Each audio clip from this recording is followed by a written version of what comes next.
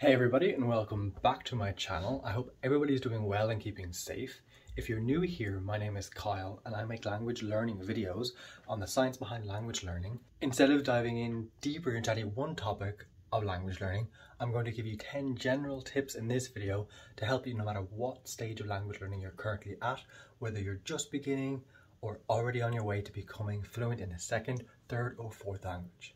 Stay tuned until the end of the video so you don't miss out on anything that could potentially speed up the process.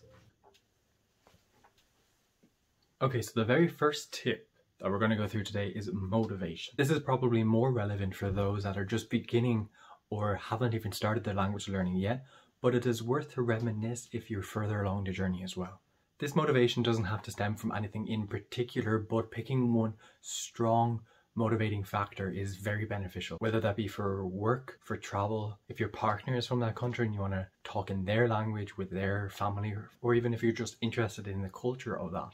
Highlighting the importance of motivation would probably be easiest if we took an example. Secondary school children or high school students generally learn a language throughout their studies, throughout their education for years and come out with very, very minimal progress made in that language, only being able to basically introduce themselves. However, many people then proceed later in life to learn another language that they have personally chosen and notice tremendously faster progress because this self-initiative and having a goal and having a motivation will make the journey much more enjoyable and quicker.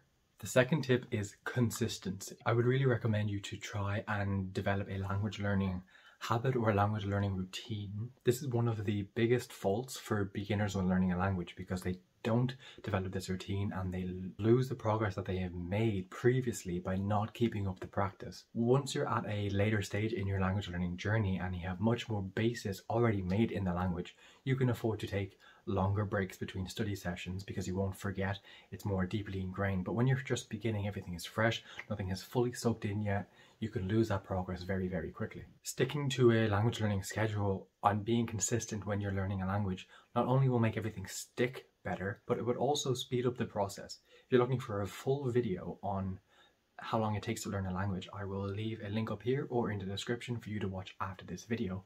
But basically, the less breaks you're taking, the faster you will learn the language. Pretty simple. If other commitments or life things get in the way, it isn't the end of the world and there's no point putting extra stress on yourself to do something that will just end up making you lose motivation because you'll be stressed about doing it or missing a day.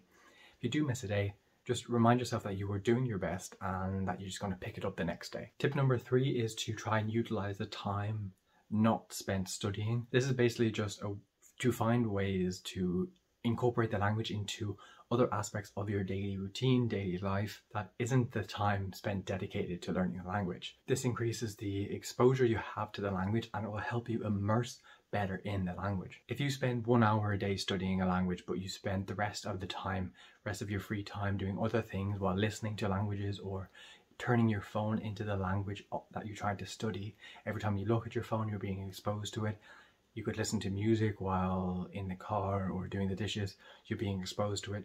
Just different things like that will help you immerse yourself in the language and boost your total daily immersion time. The next tip is listening. By incorporating listening into your routine, you'll be able to train your ear and it'll help you with your pronunciation because you'll be able to tell how the language actually sounds. Listening is probably one of the most underrated and underdeveloped or practiced skills with language learners because it's probably one of the hardest but by actually practicing these listening skills, you can open yourself up to many, many, many more opportunities to actually get some practice in and, and immerse yourself better in the language, which I think is really important if you haven't figured out yet. And the better your listening skills are and your comprehension skills are, the more you can incorporate valuable listening time while you're doing other things. I think listening to music and translating the songs so you understand what they mean and then listening to them again this is comprehensible input, which I'll be doing a video on in the future. This comprehensible input is great practice because if you're listening to things that you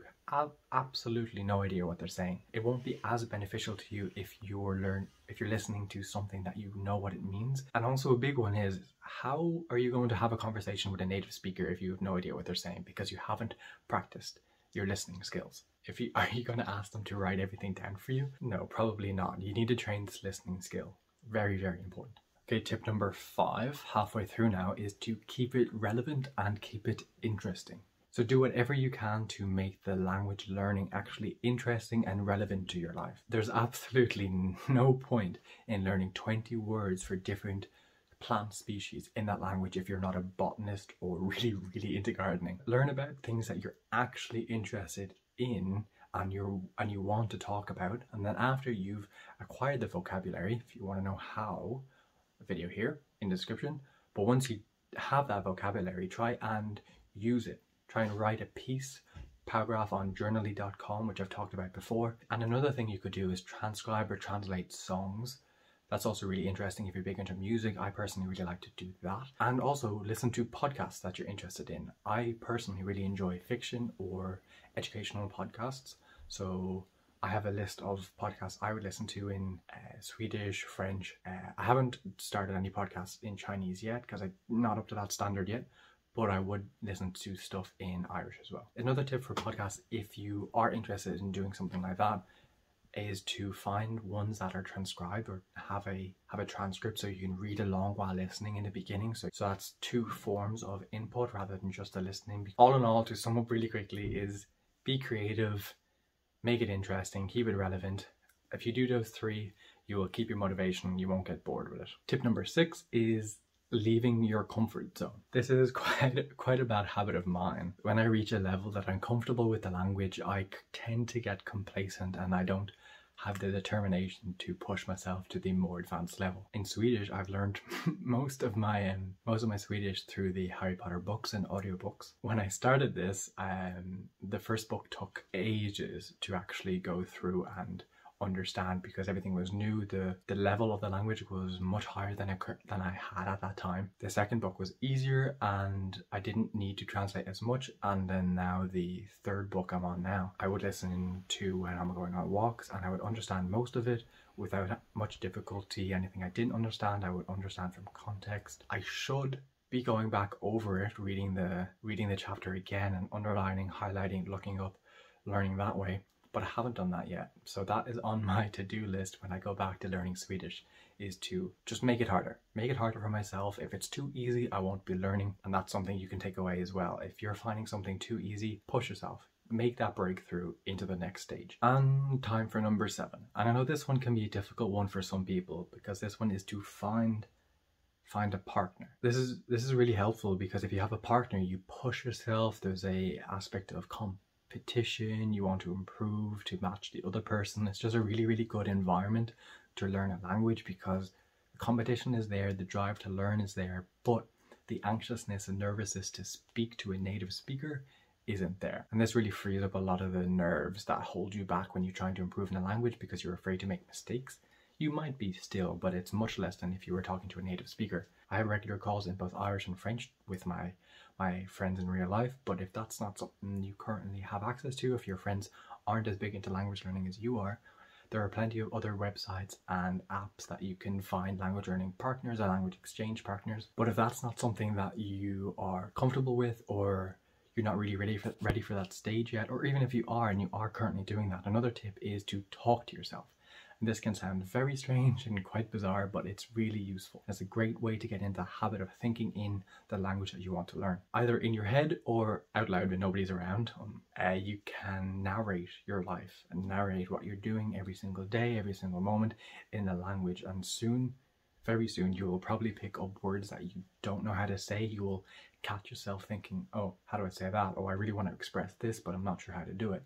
Write it down in your phone or on a, if you carry a notebook or something and then look those up when you're in your dedicated study time and this will really rapidly advance your language learning progress because it's super relevant because you're doing it every day. You could learn again 20 words for plants and not need them ever or you could learn words that you struggle to find when you're just doing your daily activities or having thoughts about something that you can use every day or very frequently. Next is to watch or find content to watch in your target language. This means Netflix or other media. I highly recommend the Chrome extension Learning Languages with Netflix, I think it's called. It'll be on the screen now. I suggest this because it's much, much more beneficial to watch a show in a different language with the subtitles in that language, not in your native language. Many people rely too heavily on reading their own language that they don't really process what's being heard properly. Really, really good example is there probably are thousands of people who have watched thousands of hours of anime that do not know any Japanese because they'd just be reading the English subtitles. So really, really try and force yourself to read along. It'll be on the screen, it's quite easy, or you can pause, rewind, go through, save words. It's very, very useful. And that's something that I do a lot. I'm currently watching, I think in English it's called Call My Agent on Netflix, but it's 10%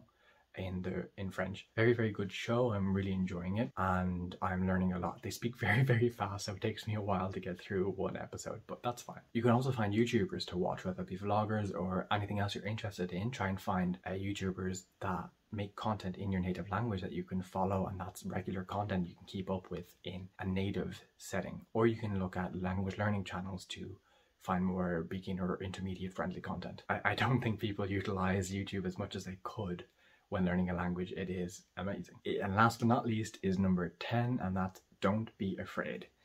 Again, much, much easier said than done.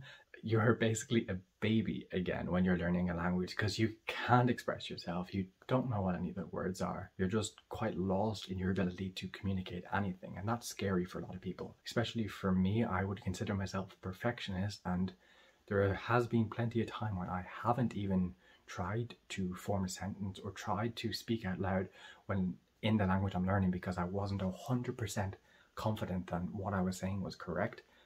But that really, really limits your progress. And that's a really bad habit that I'm trying to get myself out of because I've realized that when you're talking to a native speaker in their language, when you're trying, you're putting in the effort to learn the language, they're much, much more forgiving and not as mean as you think they'd be. You really want to embrace the kid again and just dive headfirst in with full confidence. This will come with practice. Yeah, you just try not to be afraid of making mistakes. The more mistakes you make, the more you will learn to not make those mistakes again.